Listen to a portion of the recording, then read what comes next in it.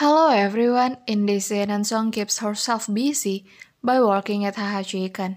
She decides not to audition for a while and spends her time at the restaurant.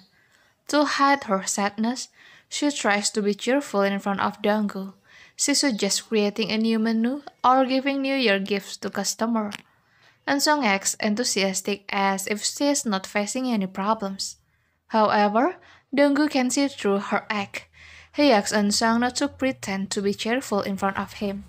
He wants her to show her true feelings and not hide her sadness.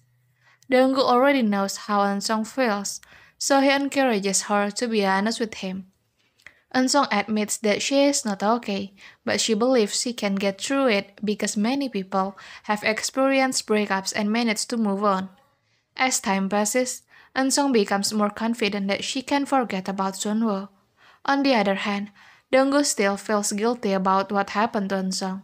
He even thinks that he cannot face her because of his guilt.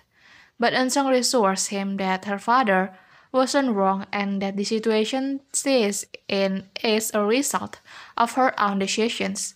Finally, Donggu encourages Eunseong to overcome this challenging period in her life.